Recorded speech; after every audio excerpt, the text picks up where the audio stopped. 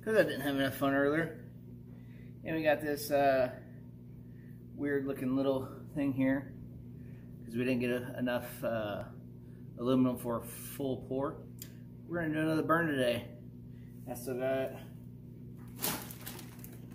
two more of these and then some so hopefully we'll get enough for maybe three more but we're gonna start off we're gonna throw that into the crucible here get it fired up get it up to heat start feeding some cans in. Let's get it done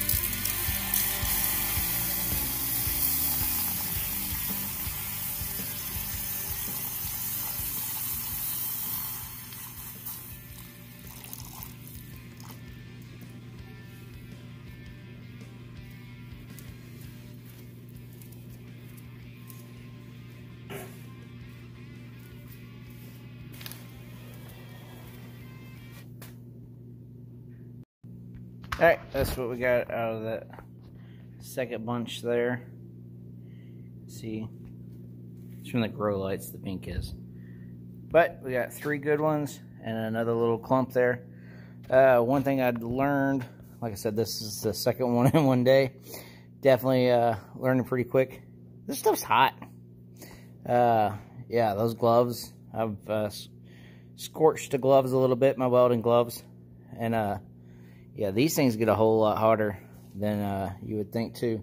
So yeah, the biggest lesson learned is, and then the, whatever they're called, the little casting things there, made out of graphite.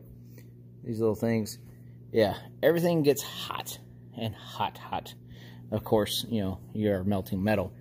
We're looking at, what, 1,200, 1,300 degrees just to melt it, and I'm sure that gets a lot hotter than that. Well, I know it does, because it'll uh, melt more than just the, the aluminum. But anyways, and I, my gun, it only goes about, I think it goes around 650, 700, something like that. So if uh, I'm going to use that, I'm going to have to definitely get something that can register higher.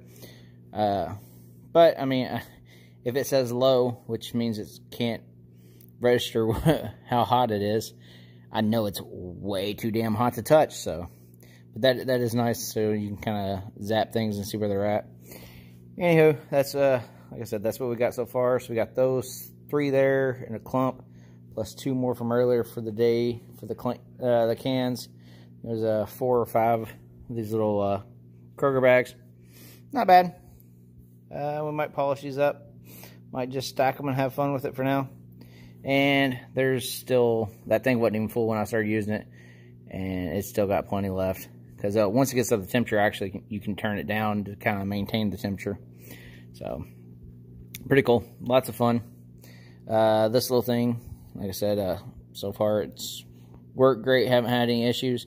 And it came with uh, dang near everything I needed except for they added the gloves and maybe a crucible. And granted, they got to up the, the price. So, but, uh, yeah, I'll throw another link below in this video as well to this particular one and maybe in one of the unboxings of what this little kit is. So, all right, that's it. Don't forget to like, share, and subscribe. And who knows, maybe we'll have some more of these uh, here soon. Talk to you later. All right, well, let's see how much aluminum we have. So that's six and a half ounces there. 12 and a half. So it looks like these are about six ounces each. And total.